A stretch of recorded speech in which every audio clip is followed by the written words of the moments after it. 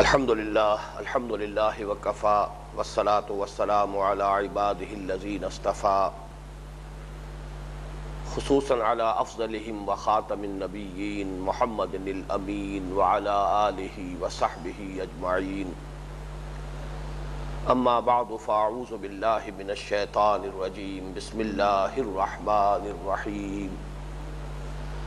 बिल्लाहि मिनश शैतानिर रजीम बिस्मिल्लाहिर रहमानिर रहीम या बुनय्य इन्नहा इन तकु मिस्काल हब्बतिन मिन खरदलिन फतकुन फ़ी सखरतिन औ फिस समावाति औ फिल अर्द यअति बिहल्लाह इन्नल्लाह लतीफुन खबीर या बुनय्य अक़िमिस सलात वअमुर बिल मारूफ वन्ह इन ज़ालिक मिन अज़्मिल उमूर सदक़ल्लाहुल अज़ीम रब्बि इश्रह ली सदरी व यस्सिर ली अमरी वहलुल उक़दतम मिन लिसानी यफ़क़हू क़ौली अल्लाहुम्म रब्बना अलहिमना रुश्दना व अइज़ना मिन शुरूर अनफुसिना अल्लाहुम्म अरिनल हक़्क़ हक़्क़न वरज़ुक़ना इत्तिबाअह व अरिनल बातिल बातिलन वरज़ुक़ना इज्तिनाबह आमीन या रब्बल आलमीन। सूरह लुकमान का दूसरा रुकू कुल आठ आयात पर मुश्तमिल है। जिनमें से चार आयात का हम मुताला कर चुके हैं और चार आयात बाकी हैं। पहली चार आयात जिनका हम मुताला कर चुके हैं, उनमें से तीन आयात अल्लाह ताला की तरफ़ से हैं और सिर्फ़ एक आयत है कि जो हज़रत लुकमान की नसीहत पर मुश्तमिल है। बकिया जो चार आयात हैं, ये कुल की कुल हज़रत लुकमान की नसाहे पर मुश्तमिल है। इनमें से दो आयात का मुताला इन हम इस नशस्त में मुकम्मल करेंगे और बकिया दो आयात का फिर अगली नशस्त में। आयत नंबर पाँच, या हज़रत लुकमान की नसीहतों में आयत नंबर दो। या बुनैया इन्नहा इन तको मिसकाल हब्बतिन मिन खरदलिन फतकुन फ़ी सखरतिन फिस समावात औ फिल अर्द याते बिहल्लाह, इन्नल्लाह लतीफुन खबीर। ऐ मेरे बच्चे, अगर हो वो, इन्नहा, ये हा की ज़मीर जो है, इसका कोई मर्जा यहाँ पर लफ्ज़न मौजूद नहीं है। इसे नहव में कहा जाता है ज़मीर शान या ज़मीर क़स्सा। इसलिए कि इन्ना का लफ्ज़ आता है ताकीद के लिए, और ये जुमला इसमिया पर आता है। लेकिन अगर कहीं यही ताकीद मकसूद हो किसी ऐसे जुमले में कि जिसकी सूरत जो है वो जुमला फेलिया की है, आगे फेल आ रहा हो, तको तको ये फेल है। तो ज़ाहिर बात है कि इस पर बराह रास्त इन्ना दाखिल नहीं हो सकता, उसके लिए कोई दरमियान में ज़मीर लानी पड़ती है, ये ज़मीर शान अगर फ़ेल मुजक्कर हो तो ज़मीर शान और फ़ेल मुन्नस सीगे में हो तो ज़मीर क़स्सा कहलाती है। मुराद इससे क्या है? इन नहा अलहसन तो अविसैत तो ए मेरे बच्चे, वो यानी कोई नेकी या कोई बदी। इन तको मिसकाल हब्बतिन मिन खरदलिन। अगरचे वो हो हम वज़न मिसकाल, शक्ल से शक्ल से मिसकाल, हम वज़न। हब्बतिन दाना, एक दाने के हम वज़न हो और दाना भी खरदलिन, राई के दाने के हम वज़न हो। यह अरबी ज़बान में ज़ाहिर बात है कि ज़बान जो है वो इंसानी मुशाहदात से बनती है। छोटी सी छोटी चीज़ के लिए अरबों के मुशाहदे में जो चीज़ें आती थीं, वही कुरान मजीद ने उस मकसद के लिए इख्तियार की हैं। खरदल, राई का दाना। हब्बा जो है गंदुम का भी हो सकता है, हब्बा जो है वो मकई का भी हो सकता है, हब्बा जो है वो चने का भी है, लेकिन ये कि वो जसामत में खासे बड़े हैं। लेकिन राई का दाना, इसी तरीके से लफ्ज़ जर्रा आता है अरबी ज़बान में। चुनाचे इसी आया मुबारक की हम मजमून जो आयात हैं सूरतुलज़िलज़ाल में, वहाँ लफ्ज़ ज़र्रा आया है। फ़मन यामल मिसकाल ज़र्रतिन खैर यरा वमन यामल मिसकाल ज़र्रतिन शर्र यरा। तो जर्रा कहते हैं, ये चींटियों के बच्चे जो हैं, उनके अंडों से जब निकलते हैं, वो अंडे भी आँख से दिखाई नहीं दे सकते, लेकिन जब वो बच्चे निकलते हैं, बहुत छोटे छोटे तो बहुत ही यूँ समझिए कि माइक्रोस्कोपिक तो हम नहीं कह सकते कि आँख से नज़र आ जाते हैं, लेकिन बहुत छोटे। वो जर्रा है, वो जर्र है। तो गोया कि वहाँ से लफ्ज जो है अखज किया गया किसी बहुत ही छोटी शय के लिए। तो ये जो राई का दाना है, ये भी बहुत छोटा। नेकी या बदी, खा वो हो राई के दाने के हम वज़न। फतकुन फ़ी सखरतिन, फिर खा वो किसी चटान में हो। सखरा कहते हैं चटान को। मुराद इससे यह है कि पहाड़ों में जो खोए होती हैं, गार होते हैं चटानों के अंदर, चाहे कोई अमल नेकी का या बदी का, कहीं किसी गार के अंदर, किसी खो में छुप कर किया गया हो। औफिस समावात या आसमानों में हो। इसका तर्जुमा हम पहले तो किया करते थे कि फिजा में हो, लेकिन अब तो तस्वुर इंसान का जो है, फिजा से आगे जा चुका है, खला में हो।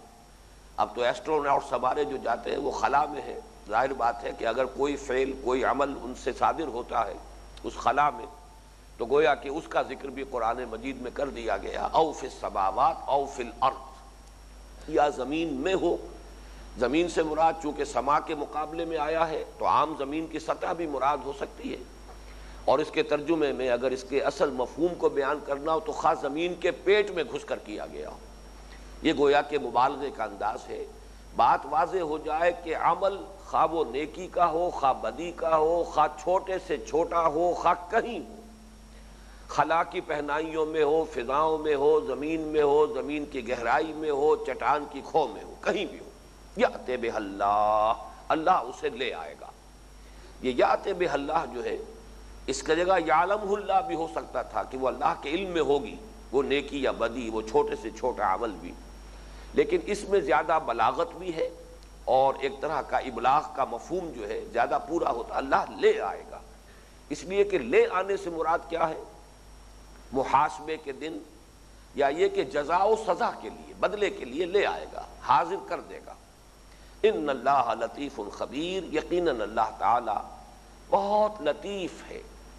लतीफ़ का लफ्ज़ भी दो मानी देता है। लतीफ़ असल में तो आता है किसी शकील शय के मुकाबले में, किसी भारी और ठोस चीज़ के मुकाबले में। मसल हवा लतीफ़ है। हम रूह को भी कहते हैं कि वो जिसम लतीफ़ है, यानी रूह अगरचे जिस्म है। परसोनिफाइड एग्जिस्टेंस है रूह का। तो रूह जो है वो भी एक जिस्म है, लेकिन ये जिसम लतीफ़ है।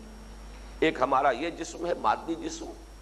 ये जो हमारा वजूद हैवानी है, ये जिसम कसीफ है, लेकिन इसमें जो रूह है या इसमें जो जान है, वो जिसमें लतीफ़ है। तो लतीफ़ किसी भी हल्की शय को। लेकिन इसी से फिर इस्तारतन ये लफ्ज़ आता है, लुत्फ़ करम। यानी बड़े गैर महसूस अंदाज में किसी के साथ कोई भलाई करना, कोई खैर करना। एक तो यह है कि ऐसा अंदाज हो कि जिसको कि इंसान देख रहा हो, महसूस कर रहा हो अपने हवा से, ज़ाहिरी से, कि मेरे साथ फलां शख्स ने यह भलाई की है, ये खैर, या मेरे साथ ये नेकी की। और एक ये है कि बहुत ही सटल अंदाज में, बहुत ही लतीफ़ अंदाज में, न नज़र आने वाले अंदाज में, बहुत ही खफीफ अंदाज में, या बहुत ही खफी अंदाज में। तो ये भी लुत्फ़ करम इस मानी में मुस्तमल है। तो मादी, मादे के अतबार से मफहूम जो है वो वही है कि बहुत हल्की और लतीफ़ शे यहाँ उसका मफहूम है, अल्लाह लतीफ़ है नहायत बारीक बीन है। कोई शय उसके इल्म से बाहर नहीं है। और इसी को मजीद मुक्द किया है, खबीर, बाखबर है। हर शय की खबर उसे हासिल है, हर शय से हर आन बाखबर है। और उसकी बाखबरी की कैफियत यह है कि नहायत बारीक बीन, कोई छोटी सी छोटी, हकीर से हकीर शय भी उसके इल्म से बाहर और उसकी निगाहों से दूर नहीं है। ये जो आया मुबारक है, अब इस पर नोट कीजिए इस एतबार से कि हज़रत लुकमान की नसीहतों में भी ये दूसरी नसीहत आई। और जो हमत कुरानी के जो हम मबादियात का मुताला कर रहे हैं, इस रू के इस रुकू के हवाले से, उसमें भी नोट कीजिए। दूसरी शय ये है, इंसान अगर अपनी फितरत सलीमा की रहनुमाई में अक्ल से काम ले, अक्ल गौर व फ़िक्र करे, लेकिन फितरत सलीमा की रहनुमाई में तो पहली हकीकत तो जो उस पर मुनकशिफ होगी, वो अल्लाह की तोहहीद अल्लाह के शुक्र का जज्बा उसमें से उभरेगा तोहहीद का इल्तज़ाम करेगा। दूसरी हकीकत ये मुनकशिफ होगी कि इंसान के अमाल ज़ाय होने वाली चीज़ें नहीं हैं। इंसानी अमाल के नतज निकल कर रहेंगे। नतज कहाँ निकलेंगे, कब निकलेंगे, किस तरह निकलेंगे, किस सूरत में निकलेंगे, ये मामला ज़रा मुख्तलिफ़ है। मैं बाद में इसकी वजाहत करूँगा। कि ये तफासिल सिर्फ़ नबूत के ज़रिए से मालूम हो सकते हैं। यहाँ पर जो बात हो रही है, वो हिकमत की बात है, दानाई की बात है कि फितरत सलीमा की रहनुमाई में इंसानी अक्ल अगर खुद गौर व फ़िक्र करे, बगैर वही की रहनुमाई के, तब भी इंसान इस हकीकत तक पहुँच जाता है कि इंसानी अमाल बेनतीजा नहीं रहेंगे, आबस नहीं रहेंगे, इसके नतज निकल कर रहेंगे। और उसकी वजह क्या है? यहाँ भी नोट कीजिए। जैसे मैंने अर्ज़ किया था कि शुक्र इलाही के लिए दो चीज़ें थी, कि एक फितरत सही हो, जिसका नतीजा यह है कि जज्बा तशक्र मौजूद हो। दूसरे अक्ल ने अपने असल मुनिम को पहचान दिया हो। तो ये फितरत सलीमा और अक्ल सलीम के इम्तजाज से इंसान का जज्बा तशक्र मुरतकस हो जाता है ज़ात बारी ताला पर। इसी तरीके से यहाँ भी फितरत का तकाजा ये है कि इंसान ये महसूस करता है, ये भी बदीहियात फितरत में से जैसे मैंने किसी पिछली नशस्त में बात वाजे की थी। बदीह कहते हैं कोई शय जो खुद ज़ाहिर हो। बदीहियात फितरत। वो चीज़ें जो हमारी फितरत में वदियत शुदा हैं और उसकी बिना पर हम उन्हें मानते हैं। खा उसके लिए कोई दलील अकली और मनतकी हमारे पास ना हो। खा हम उसके लिए कोई सबूत फराहम ना कर सकें। उन बदीहियात फितरत में से ये भी है कि इंसान में खैर और शर की तमीज़ मौजूद है। इंसान अंदर ही से खुद आगाह है और वो तमीज़ करता है कि ये भलाई है, ये बुराई है। ये खैर है, ये शर है। ये बदी है, ये नेकी है, ये अच्छा काम है, ये बुरा काम है। ये तमीज़ फितरत इंसानी में वदियत शुदा मौजूद है। ये भी बदीहियात फितरत में से है। दूसरी तरफ़ अक्ल एक और हुक्म लगाती है। और वो ये है कि इस कायनात के मुशाहदे से ये बात सामने आती है कि यहाँ कोई शय आपस पैदा नहीं की गई। ये एक बहुत ही बामानी तखलीक है, बामकसद तखलीक है। यहाँ कोई घास का तिनका भी ऐसा नहीं है जिसे आप कह सकें कि ये बेकार है अबस है, बेफायदा है, बल्कि ये जो स्कीम ऑफ़ थिंग्स है, इस कायनात का जो पूरा एक नक्शा है, इसका जो पूरा मंसूबा है, उसमें एक एक जर्रा जो है बामानी है, बामकसद है। हर शय का कोई ना कोई नतीजा है कि जो बरामद होता है। अब इन दोनों चीज़ों को जोड़िए तो एक फितरत चाहेगी कि भलाई का भला नतीजा निकले और बुराई का बुरा नतीजा निकले। जिसको हम कहते हैं कि गंदुम अस गंदुम बेरोयत, जौ से जौ, गंदुम से गंदुम पैदा होती है और जौ से जौ पैदा होता है। इसी तरीके से गोया के अक्ल और फितरत, अब इन दोनों का मिलकर एक तकाजा यह होगा कि नेकी का बदला भला मिलना चाहिए, नेकी का नतीजा अच्छा निकलना चाहिए। नेकी से इंसान को अगर नेकी का वो इरतकब कर रहा है और नेकी कमा रहा है तो उसका उसको कुछ नतीजा मिलना चाहिए, उसे कोई उसका इनाम मिलना चाहिए। उसका कोई सवाब और अजर मिलना चाहिए। और बुराई की कोई सजा मिलनी चाहिए। बुराई का नतीजा जो है, बुरा निकलना चाहिए। और वो है दर हकीकत हमत कुरानी का ये दूसरा बुनियादी मसला कि जो हज़रत लुकमान के अपने फहम, अपने गौर फ़िक्र, अपने ताकुल और तजक्र के नतीजे में वो बरामद हुआ। इसी को यहाँ हज़रत लुकमान ने इन अल्फाज में पेश किया कि अ मेरे बच्चे, मेरे गौर व फ़िक्र का हासिल ये है मैंने जो कुछ सोचा है और जो कुछ उसका नतीजा जो मेरे पास है, बरामद हुआ है मेरे इस पूरे फ़िक्र का, वो ये है कि इंसानी अमाल ज़ाय होने वाली चीज़ें नहीं है। जब मैं ये महसूस करता हूँ कि नेकी नेकी है, बदी बदी है, खैर खैर है, शर शर है, ये सिर्फ़ शराब नहीं है, ये धोखा नहीं है, ये हमारे अपने ही बनाए हुए तस्वुरात नहीं है, ये हमारी इख्तरा नहीं है। नेकी हकीकतन नेकी है, बदी हकीकतन बदी है। खैर वाक़ता खैर है, शर वाक़ता शर है। तो ये मुमकिन नहीं है कि इनका नतीजा ना निकले। और जिस हस्ती ने इस कायनात को बनाया है, जिसने मुझे पैदा किया है, जिसने तुम्हें पैदा किया है, जिसने सूरज और चाँद को बनाया है, मुमकिन नहीं है कि वो इन अमाल से बेखबर हो, इनसे बाखबर ना हो। वो तो नहायत बारीक बीन होना चाहिए, वो तो कायनात का जर्रा जर्रा गवाही दे रहा है कि वो अलाकुल्ल शैन कदीर भी है, वो बेकुल्ल शैन अलीम भी है।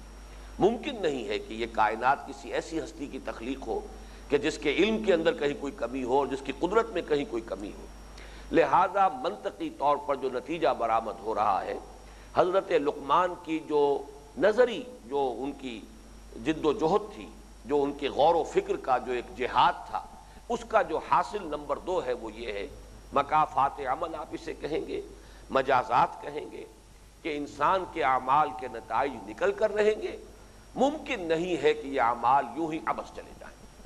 अब यहाँ यह बात अलबत का नोट कर लीजिए। यहाँ तक तो है फ़िक्र इंसानी की रसाई। यहाँ तक तो इंसान खुद पहुँच गया। अपनी फितरत की रहनुमाई में अपने अकल से काम लेकर गौर व फ़िक्र को जो महमीज दी है तो यहाँ तक तो इंसान पहुँच गया। लेकिन इससे आगे की बात यह ज़ाहिर बात है कि यह तो वही के ज़रिए से उसके तफासिल मालूम होती है। ये बात कि एक दिन आएगा कि तमाम ये नौ इंसानी जो है, जो भी उस वक्त मौजूद होंगे, उन सब पर एक इज्तमाही मौत वाक़ हो जाएगी। फिर कुछ अरसे के बाद एक वक्त आएगा कि तमाम इंसानों को दोबारा उठाया जाएगा, ज़िंदा किया जाएगा माँ से बादल मौत होगा, रिजरक्शन होगी। फिर एक एक मैदान में सबको हाजिर होना होगा, अपने रब के हजूर में मुहासबे के लिए, जवाबदेही के लिए, हिसाब किताब के लिए। फिर ये कि उस हिसाब किताब के नतीजे में फैसले सादिर होंगे। और वो फैसले या फिर जन्नत है और या दोजख है। और जन्नत जो है उसकी ये ये नेमतें हैं उसके अंदर अल्लाह ताला ने अपने बंदों के लिए ये ये कुछ इनामात फराहम किए हैं और दोजख के ये ये शदाइद हैं ये ये सख्तियाँ हैं ये ये अजाब की सूरतें हैं। ये सारी तफासिल ये ज़ाहिर बात है कि ये नबूत ही के ज़रिए से मालूम हो सकती है। इसके लिए महज अकल इंसानी जो है वो काफ़ी नहीं है कि वहाँ तक रसाई हासिल कर ले। लेकिन यहाँ जो नोट करने की बात है वो ये है कि जो चीज़ें के नबूत और रिसालत के ज़रिए से इल्म में आ सकती हैं, उनका इस पूरे रुकू में कहीं ज़िक्र नहीं किसी नबी का ज़िक्र नहीं, किसी रसूल का ज़िक्र नहीं, किसी किताब का ज़िक्र नहीं, फरिश्तों का ज़िक्र नहीं, बास बादल मौत का ज़िक्र नहीं, जन्नत का नाम नहीं, दोजख का नाम नहीं। दर हकीकत ये मैं इसलिए एम्फेसाइज कर रहा हूँ कि बात वाज हो जाए कि हमारे इस मुंतखब निसाब में जो इसका हिस्सा अव्वल है, ये दर्स किस मकाम पर है? यहाँ से दर हकीकत हमत कुरानी जो है, उसका आगाज़ हो रहा है। इसका फिर अगला सबक आएगा सूरह फातिहा। इसलिए कि दर हकीकत इसी का अगला कदम है। मनतकी तरतीब के अतबार से सूरह फातहा, वो मैं बाद में बयान करूँगा। बहरहाल, हज़रत लुकमान की नसाय में से दूसरी नसीहत जो सामने आई, वो ये है कि मकाफात अमल, कानून मजाजात, ये अटल है। इंसानी अमाल के नतज निकल कर रहेंगे। खैर का बदला अच्छा और शर का बदला बुरा मिलकर रहेगा। जिसको मैंने अभी आपको सूरतुलजिलजाल की आयत के हवाले से आपके सामने रखा, फमन यामल मिसकाल जर्रतिन खैर यरा यामल मिसकाल जर्रतिन शर यरा। ये होकर रहेगा, ये अक्ल का तकाजा है, ये फितरत चाहती है। मेरी फितरत जो है, उसमें नेकी और बदी का जो इम्तियाज़ मौजूद है, उसका मनतकी नतीजा ये निकलना चाहिए, जबकि मेरा मुशाहदा ये है कि इस कायनात में कोई शे अबस और बेमकसद नहीं। जिसको हम आगे चलकर पढ़ेंगे सूरह आल इमरान जो दूसरा हिस्सा है हमारे, जिसमें कि ईमान का फिर सिंथेसिस जो है, वो जेर बहस आता है। ईमान कैसे तदरीजन वजूद में आता है? तो उसमें वो आयत आएगी, रब्बना मा खलक तहाजा बातिला। यही मफहूम है कि जो सूरह मोमिनून में बयान किया गया है। अफहसिब तो मन्नमा खलक नाकुम आबसन। क्या तुमने ये समझा था कि हमने तुम्हें बेकार और बेमकसद पैदा किया है? घास का तिनका तक तो यहाँ बेकार और बेमकसद नहीं। और इंसान जो है उसका वजूद, उसकी हस्ती, उसकी ज़िंदगी, ये बेमकसद हो, बेनतीजा हो कि खाओ, पियो, ऐश करो, ज़िंदा रहो और मर जाओ और ख़त्म हो जाओ। ये तो अनहोनी बात है, ये तो दर हकीकत, न फितरत इसको कबूल कर सकती है और ना ही अकल इंसानी जो है, उसके नज़दीक ये कोई काबिल कबूल बात है। अब आगे आइए, ये जो नेकी और बदी का यहाँ इस आया मुबारक के पस मंज़र में मैंने बयान किया कि बदी ही यात फितरत में से, उस पर यह पूरा जो फलसफा है मजाजात अमल का वो बेस्ट है। अगली आयत में अब ये खुल कर आएगी बात। या बुनैया या बुनैया सलात व अमर बिल मारूफ वन हानिल मुनकर ए मेरे बच्चे, नमाज़ को कायम रख, बल्कि यहाँ असल में अगर लफ्ज नमाज़ हम इस्तेमाल न करें, बल्कि दुआ का अहतमाम किए रख। इसलिए कि लफ्ज सलात यहाँ पर जो आ रहा है, उसकी अभी लुगवी बहस मैं करूँगा आपके सामने। लेकिन हमारे सामने जब भी लफ्ज नमाज़ आता है तो ए, वो इबादत जो हमारे यहाँ और जो उसकी सूरत और हैत मुन हो चुकी है, सुन्नत मोहम्मदी अलैहि वसल्लम की बुनियाद पर लामहाला वो तस्वुर सामने आ जाता है। यहाँ दर हकीकत हमत के जो उसूल बयान हो रहे हैं, और हज़रत लकमान तो अगर हज़रत दाऊद के हम असर थे, जैसे कि एक राय है तो भी बड़ी कदीम ज़माने की शख्सियत है। और अगर वो आद के बेटों में से थे, शद्दाद के छोटे भाई तो वो भी, वो तो और भी बहुत पुराने, समझिए कि कम से कम छः हज़ार साल पुरानी शख्सियत है। इस एतबार से यहाँ लफ्ज़ सलाद का मफहम वो नहीं हो सकता कि जो हमारे जहनों में फ़ौर आता है, जब भी ये लफ्ज़ आएगा तो उसका एक ख़ास मफहम, ख़ास हैत, ख़ास किस्म की एक इबादत की जो सूरत है, वो हमारे जहन में आती है। इसलिए बेहतर है कि यहाँ तर्जुमा किया जाए। ए मेरे बच्चे, अल्लाह के साथ जहनी रबते का एक अहतमाम बरकरार रख। अल्लाह के साथ दुआ व मुनाजात का अहतमाम करता रहे। अब यहाँ पर मैं चाहता हूँ कि लफ्ज सलात भी जो, लुगत में जो इसकी असल हकीकत है उस पर गौर कर लें।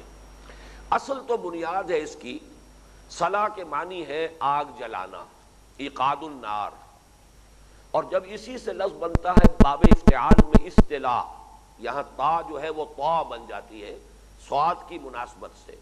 तो तस्तलून का लफ्ज दो मरतबा कुरान मजीद में आया है, हज़रत मूसा के ज़िक्र में, कि जब वो आ रहे थे वापस मदियन थे, मिस्र की तरफ़ और सहराय सीना में, रात के वक्त जबकि वो कहीं रास्ता भी भूल गए और शरीर सर्दी भी थी तो एक जहाँ उन्हें जो आग नज़र आई तो उन्होंने अपने अहल खाना से ये कहा कि ज़रा यहाँ ठहरो, मैं जाता हूँ, आग लेकर आता हूँ लाकुम तस्तलून, मुझे मालूम होता कहीं आग है। इन्नी आनस तो नारा। तो मैं वहाँ से कोई चिंगारी लेकर आता हूँ ताकि यहाँ आग जलाएँ। लालकुम तस्तलून सूरतुल नमल में भी ये लफ्ज आया, सूरतुल कसस में भी आया। दोनों ये सूरतें जोड़े की शक्ल में है, कुरान मजीद में एक ही जगह पर। तो तस्तलून के मानी आग तापना, आग सेकना, सलाह का असल मफहूम है आग रोशन करना। अब यहाँ से इस पर तकरीबन इजमा है कि सलाद का जो मफहूम है कुरान मजीद में और इस्तलाह में, वो है दुआ। किसी के साथ बल्कि अल्लाह की तरफ़ मुतवजह होकर उससे हम कलाम होना, उससे मुनाजात करना। अब सवाल ये पैदा होता है, इमाम रागिब ने चुनाचे कहा है कि इस पर इजमा है, तमाम अहल लगत का, कि यहाँ सलाद से मुराद जो है असलाही सलाद जो है, वो अदुआओ व तबरीक व तमजीद।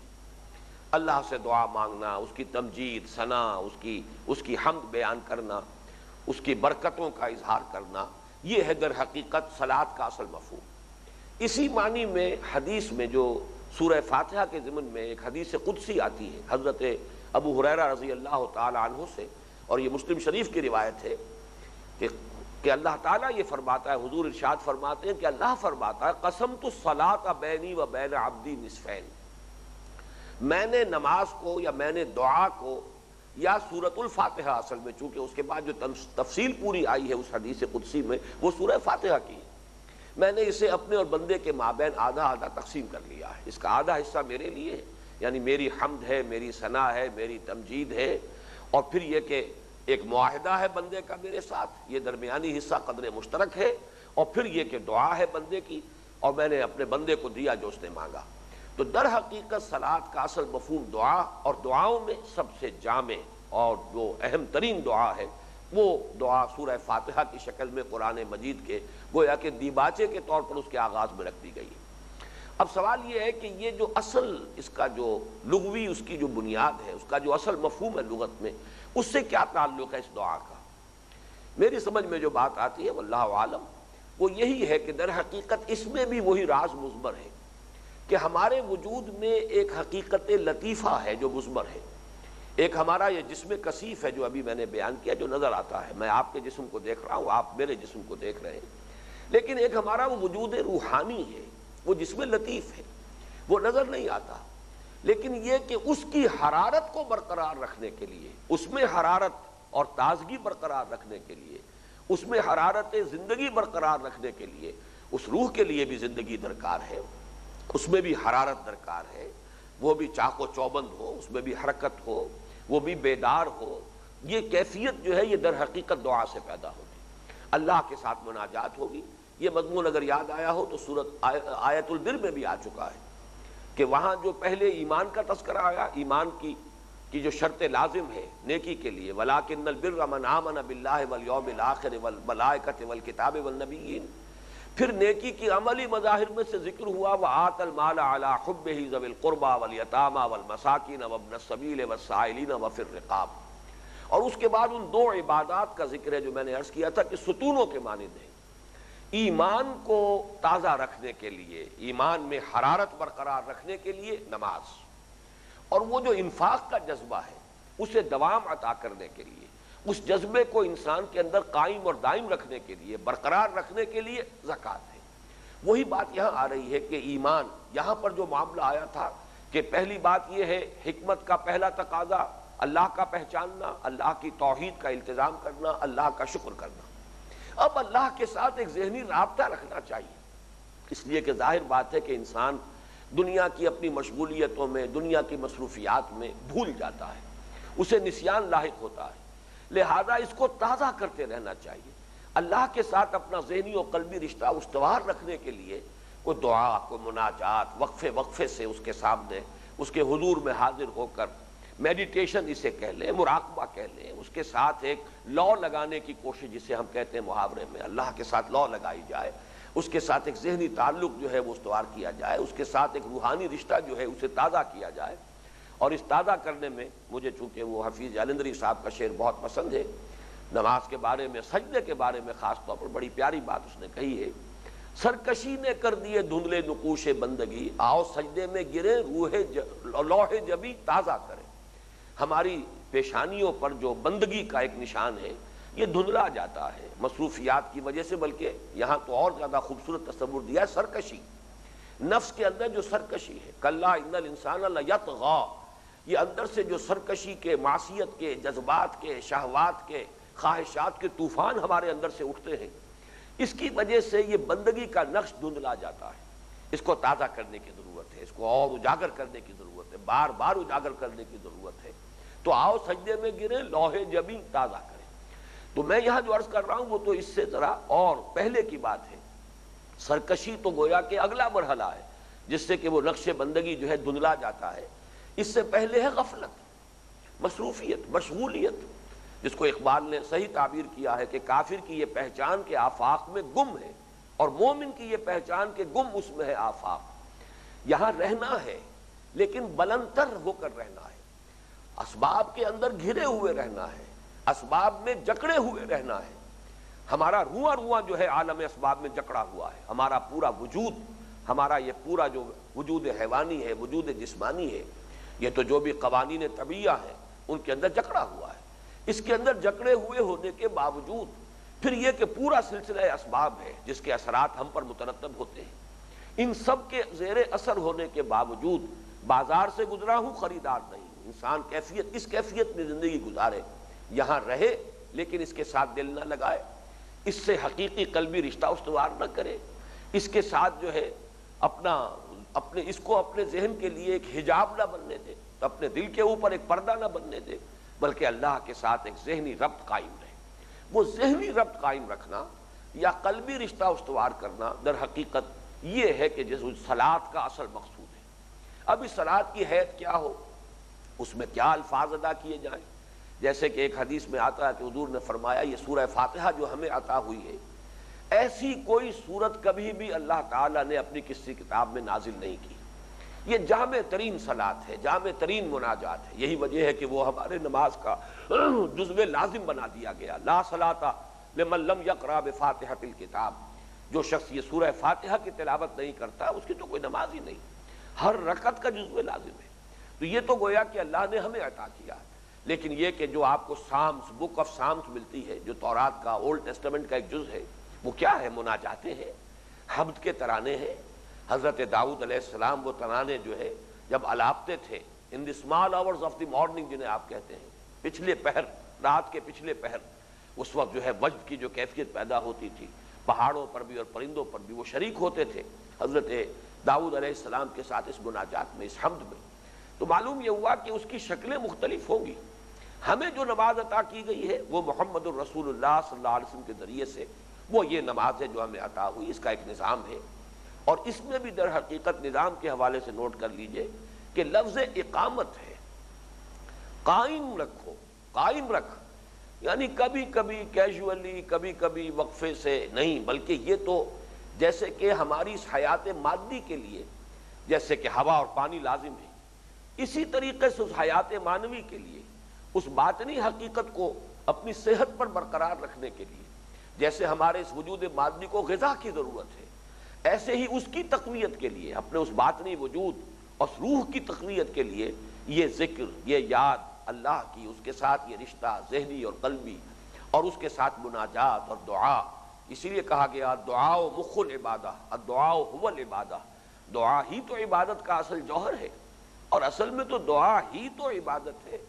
दर हकीकत ये असल उसकी रूह जो है इबादत की वो दुआ है।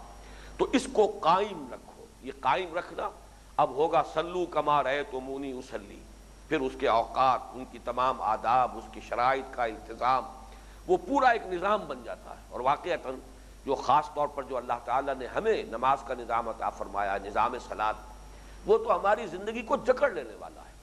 पूरी तरीके से शिकंजे के अंदर कस लेने वाला कि इंसान का मालूम होगा कि एक खूंटे के साथ इंसान बन गया।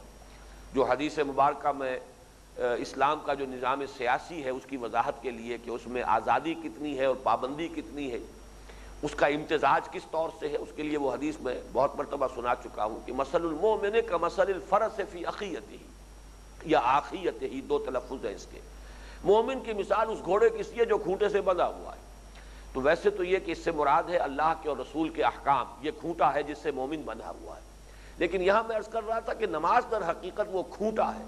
जो एक मोमिन के निज़ामौक़ात को बाँध लेता है, जकड़ लेता है। थोड़े थोड़े वक्फे से, और इसमें बड़ी हमतें हैं, जो शाह वली देहलवी रहमत ने बड़ी तफसील से लिखी हैं, कि इन हमतों में अवकात नमाज़ का जो मामला है, ये किन हमतों की बुनियाद पर है? अल्लाह ताला ने कोई चीज़ जो है हमत के बगैर कोई हुक्म नहीं दिया है। तमाम अहकाम जो है, वो हमत पर मबनी है, जिसको मैं अपने इसी रुकू के दर्स के सिलसिले में, जो पहले नशस्तें हो चुकी हैं, उनमें दो अल्फाज इस्तेमाल करता रहा हूँ। एक हमत उसूली है, जिसका ताल्लुक ईमानियात से है, मारफत खुदाबंदी से है, बुनियादी हक़ से है। वो फ़लसफ़ा है, वो हमत है। और दूसरी हमत तफसीली है, वो अहकाम की हमत है। कोई हुक्म दिया गया तो क्यों दिया गया? नमाज़ के ये अवकात मुन किए गए, क्यों किए गए? वज़ू की ये शक्ल क्यों मुन की गई? वज़ू में इन आज़ा का धोना क्यों लाजिम किया गया? ये मुख्तलिफ़ चीज़ें जो है, इसकी जो वाइज हैं, क्यों ऐसा हुआ है? इनके जो लिम है, वो है कि जो हमत तफसीली शुमार होगी। तो ये गोया के जो तीसरी आयत हुई हज़रत लुकमान की नसाय में से, जो तीन हिस्सों पर मुश्तमिल है, या बोला ये आखिब सलाह ए मेरे बंदे, नमाज़ को कायम रख। ये कायम रख के एतबार से ज़रा एक हदीस भी नोट कर लीजिए। ये इमाम रागिब ने ये अपने यहाँ बयान की है, मुफरदात में, लेकिन हवाला नहीं दिया है, लेकिन अल्फाज बड़े प्यारे हैं। इन्नल मुसल्लिन कसीर वल लहा कलील नमाजी तो बहुत से हैं, बहुत होते हैं, लेकिन नमाज़ की इकामत का हक अदा करने वाले बहुत कम लोग हैं। इन मुसलिन कसीर वल मुकीमीन लहा कलील दर हकीकत जो मतलूब है वो तो इकामत सलात है, उसके पूरे निज़ाम को कायम रखना। बल्कि वाक़ यह है कि आम तौर पर कुरान मजीद में मुसलिन का अकेला जब लफ्ज़ आया है, वैसे तो ये कि एक जगह पर मदा मकाम मदा में भी आया है, लेकिन दो जगह पर मकाम ज़म में आया है। वहाँ फरमाया गया वो मुसलिन के बारे में, लम नको मिनल मुसलिन वो तो दर हकीकत, ये नहीं बल्कि ये कि आखिरी पारे में जो आया है कि अरायतलजी युकज़िबुद्दीन फ़जाल कल्लजी अदुल यतीम, वला यहुद्द अला तामिल मिस्कीन तो यहाँ तो एक बर्बादी और तबाही और हलाकत की जो है, वो खबर दी गई है उन मुसलियों के लिए, उन नमाजियों के लिए जो अपनी नमाजों से या तो गाफिल हैं। सिर्फ़ ये है कि वो रस्म अदा कर रहे हैं, रह गई रस्म अदा, रूह बिलाली न रही। और या ये है कि वो उसमें गोया कि वक्फे वक्फे से पढ़ते हैं, जिसे हम कहते हैं गंडेदार नमाज़ पढ़ते हैं, उससे गाफिल रहते हैं, जब जी में आया, नमाज़ पढ़ ली। इस एतबार से कुरान मजीद की जो असल असलाह है मुसलिन का लफ्ज़ बहुत कम आया है। असल लफ्ज़ जो है वो मुकीमीन सलाह नमाज़ के कायम करने वाले। अकीब सलाह नमाज़ को कायम करो। तो यहाँ भी यही बात आई, या बोला याकिम सलाह व अमुर बिल मारूफ बनहानिल अब यहाँ वो असलाह बनकर आ गई है हमारे दीन की बड़ी अहम असलाह जो बाद में, कुरान मजीद में, जो मदनी सूरतों में आई है बड़े अहतमाम के साथ। लेकिन आगाज़ उसका हो गया है उस सूरह मुबारक में कि जिसको मैंने बरसखी सूरत करार दिया है। इसलिए कि ये जो सूरह हज है, इसका कुछ हिस्सा वो है कि जो दौरान सफ़र हिजरत जो है नाजिल हुआ है। उसमें भी ये अतला आई है। तो इसमें नोट कीजिए कि जो सूरत असर में लफ्ज़ आया था वह तवासो बिल हक यहाँ पर अब उसके लिए एक मुन अतला आ गई या बोलम सलात, वामुर बिल मारूफ वन हानिल मुनकर। अब यहाँ लफ्ज फिर नोट कर लीजिए, मारूफ मुनकर। वही बदीहियात फितरत पर सारा मामला जो है, वो बेस्ड है। उसी पर मबनी है। मारूफ वो शह है जो जानी पहचानी है, फितरत पहचानती है, उसे कि अच्छाई है, भलाई है। और बल्कि फितरत का रुझान है उसकी तरफ़। एक मैलान है, रगबत है फितरत के अंदर। और उसके, इसके साथ ही फितरत इंसानी खूब जानती और पहचानती है कि यह बुराई है। और न सिर्फ़ जानती और पहचानती है, उससे उसको नफरत है, एबा करती है, उसे पसंद नहीं करती। यही वजह देखिए कि बाज अहादीस में इंसान की जो ये अंदर का एक मिकियास है इंसान के अंदर जो अल्लाह ताला ने एक मैार रखा हुआ है, हक व बातिल के परखने की सलाहियत का, उसके लिए कुरान, हदीस में आता है, बहुत से मामला में, इस तफ्ते कलबक, अपने दिल से पूछो। बल्कि बाज रिवायात में आया वला अफ्ताकल मुफ्ती खा तुम्हें कोई मुफ्ती फतवा दे दे के बात सही है, लेकिन फिर भी अपने दिल से पूछो। इसलिए कि यह दिल जो है यह सही फैसला करता है। कहीं अगर इश्तबाह है जैसे कि हदीस में आया है कि हलाल बैन वल हराम बैन बैनहुमा मुश्तबहात एक तो बैन तौर पर हलाल शह है मालूम है, कतरी तौर पर कि यह हलाल है। और एक बैन तौर पर हराम शह है, कतरी तौर पर मालूम है कि यह हराम। बीच में कुछ हो जाते हैं मुश्तबहात। यकीन के साथ नहीं कहा जा सकता कि इसको हराम समझे कि हलाल समझे। तो ये मुश्तबहात जो इनके बारे में असल शय जिससे कि पूछना चाहिए, असल फैसला जिससे लेना चाहिए, वो आपका अपना दिल है। इस तब्ते कलबक इसी तरीके से एक बड़ी प्यारी हदीस है जिसमें कि हुजूर ने गुनाह की तारीफ़ और डेफिनेशन बयान की है। अल इसमो माहा का फ़ी सदरिक व करे तला गुनाह वो शय गुनाह है कि जो तुम्हारे सीने के अंदर खलजान पैदा कर दे। खलजान पैदा हो जाए मैंने क्या किया? ये मुझे नहीं करना चाहिए था। ये नहीं, ये काम करने का नहीं है। ये काम भला नहीं, ये काम अच्छा नहीं। गोया कि इंसान के अपने अंदर ये मिकियास मौजूद है, ये आला मौजूद है, ये इंडिकेटर मौजूद है कि कोई काम करने का है या नहीं है, ये कोई काम अच्छा है या बुरा है। तो फरमाया इसमो महा का फ़ीसद देखो। इसलिए कि नेकी से, जैसे आयतुल बिर में भी मैंने अर्ज़ किया था कि बिर क्या है? बिर और बर, इसका दर हकीकत जो मुश्तरक मफहूम है वो इतमान का है। जैसे समंदर में इंसान जब तक है तो कोई ना कोई तशवीश रहती है, कोई लहर आ गई बड़ी सी, उसने ज़रा सा हिला दिया आदमी चूँकि इसी तरीके से दाएँ बाएँ कुछ डोलता हुआ जो है जहाज़ चलता है, चाहे कितना ही बड़े से बड़ा जहाज़ हो तो वो कैफियत नहीं होती इंसान की कुछ जैसे ही खुशकी पर पाँव रखा, मालूम आप इतमान है। चाहे खुशकी पर ही इंसान की घात में जो है उसकी मौत बैठी हुई हो, लेकिन ये कि एक इंसान की फौरी कैफियत भी होती है कि तशवीश खत्म हो गई और इतमान तो बिर और बर में यही रिश्ता है। बिर वो शय है कि जो फितरत इंसानी में सुकून और इतमान मैंने वो नज़म भी अंग्रेज़ी की कोट की थी, charities that soothe and heal and bless, ये तो दर हकीकत इंसान के जख्मों के ऊपर मरहम रखे जाने की सी कैफियत है। आपके अपने वजूद के अंदर, अगर आपने कोई गलत काम किए थे, उसकी वजह से अंदर ही एक एक बेचैनी है, बेकली है, एक तशवीश है, अब कोई नेकी का काम करेंगे, उससे गोया कि एक सूदिंग इफ़ेक्ट आप महसूस करेंगे खुद अपने बातिन के अंदर। तो यहाँ भी वही मफहूम है कि अलिस्म माहा का फ़ी सदरिक गुनाह वही तो है जिससे कि तुम्हारे सीने में खलजान पैदा हो जाए। वह करे तला और तुम्हें यह पसंद न हो कि लोग उस पर मुतले हो जाएँ, लोगों के इल्म में यह आ जाए कि इसने ये काम किया है। अब इसमें वाक़ ये मैं इसे कहा करता हूँ कि ये एक वोट ऑफ़ कॉन्फिडेंस है कि इंसान का जो कलेक्टिव सबकॉन्शियस माइंड है, इंसान का जो इज्तमाही ज़मीर है, उस पर भी पूरा एतमाद ज़ाहिर किया जा रहा है। कि माशरा जो है बहसीत मजमू वो भी दर हकीकत सही हुक्म लगाता है कि यह खैर है या शर है। इसीलिए जो शर है, आप नहीं चाहते कि लोगों के इल्म में आए। आपको मालूम है कि यह बात अगर लोगों के इल्म में आएगी तो मेरी हैसियत जो है वो कम हो जाएगी। लोग मुझसे नफरत करेंगे। मेरी अगर कोई इज़्ज़त है, उसको बट्टा लगेगा। ये सारी कैफियात है कि मुझसे खता तो हो गई है, लेकिन किसी तरह पर्दा पड़ा पड़ा रहे तो बेहतर है। तो ये गोया के डेफिनेशन है जो हजूर ने दी है। अल इसम माहा कफी सदरक व करे तला तो ये है मारूफ और मुनकर का तस्वुर मुनकर वो है जो पहचान में ना आए। अजनबी सी हो, जिसकी तरफ़ कोई मैलान ना हो, जिसकी तरफ़ कोई रगबत ना हो। तो फरमाया, या बुनैया, अकीम सलात बिल मारूफ वनहानिल मुनकर। नेकी का, भलाई का, खैर का, मारूफ का हुक्म दे और बदी से, शर से, बुराई से रोक। यहाँ जो बात खास तौर पर नोट करने की है, सूरतुल असर में तवासी का लफ्ज आया था वसीयत से। यहाँ अमर और नहीं के दो अल्फाज आ गए। लेकिन वसीयत, ताकीद, नसीहत, इसका और इसमें जो एक फ़र्क है, वो नोट कीजिए कि अगरचे अमर का लफ्ज़ अरबी ज़बान में मशवरे के लिए भी आता है। मैं आपको कोई मशवरा दे रहा हूँ तो ये भी गोया कि मैंने एक अमर आपको किया है। ये अरबी ज़बान के इस्तेमाल में उर्दू में तो अमर के मानी हुक्म है। लेकिन ये कि अरबी ज़बान में अमर जो है, बल्कि जाहली शायरी में भी ये कि जो लोग तेरे मुशीर हैं, जिसने, जिसनों तुझे मशवरा दिया है कि मुझसे अपना ताल्लुक मुनक़ कर ले, आखिर तूने उसी का कहना माना, अपने महबूब से शायर कह रहा है तो वहाँ भी लफ्ज़ अमर आया है। तो अमर मशवरे के लिए भी है। गोया कि उस्मानी में नसीहत, वसीयत, तलकीन, वास, ये सब भी इसमें शामिल होंगे।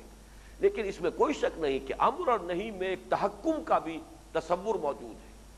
गोया कि ताकत के साथ भी अगर ताकत है तो उस ताकत को भी एक्सरसाइज करो। यही वजह है कि फिर हदीस में उसके नहीं अनिल मुनकर के तीन दर्जे मुकर किए गए कि नहीं जो है, ये हाथ से, ताकत से भी हो सकती है। अगर इसकी हिम्मत ना हो, इसके लिए हालात साजगार ना हो तो जबान से। और वरना यह कि कम से कम दर्जा यह है कि दिल से, उससे एक नफरत अगर है तो उससे भी इंसान के कम से कम अपने अंदर ईमान की रमक का मौजूद होना साबित हो जाएगा। लेकिन यहाँ पर नोट कीजिए कि यही वजह है। मैंने जैसा कि अभी अर्ज़ किया था थोड़ी देर कबल, कि यह इस्तलाह आई है सूरह हज में पहली मरतबा। और सूरह हज की वो जो आयात है, जहाँ ये लफ्ज आया है, अल्लजीन फिल अर्द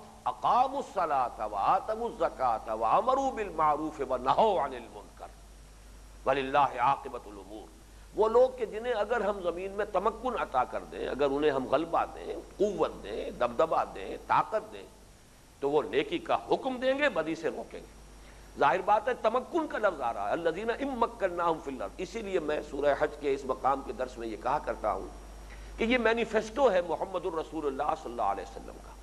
इसलिए कि जब आप मदीने की तरफ़ तशरीफ़ ले जा रहे हैं, सफ़र कर रहे हैं हिजरत का तो दर हकीकत इस सफ़र का नतीजा क्या निकलने वाला? इल्म खुदाबंदी में तो है कि मदीने में जो दाखिला हुजूर का हो रहा है, वो एक साहिब साहिब इख्तियार हस्ती की हैसियत से होगा।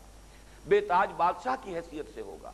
वहाँ मुसलमानों का अपना एक नज्म कायम हो जाएगा। मुसलमानों का अपना एक माशरा, अपनी एक हयात मिली खा वो कितने भी महदूद पैमाने पर वजूद में आ जाएगी।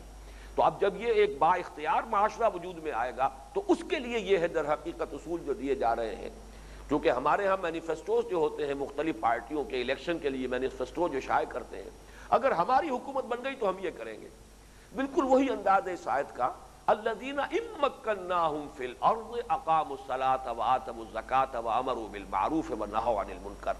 व लोग अगर हम उन्हें तमक्कुन अता कर दें, हुकूमत अता कर दें, गलबा और ताकत दे दें ज़मीन में तो वो नेकी का हुक्म देंगे और बदी से रोकेंगे। यही वजह है कि फिर ये उम्मत मुस्लिमा का जो इज्तमाही फरीजा है, उसके लिए ये अहम तरीन असलाह बन गई।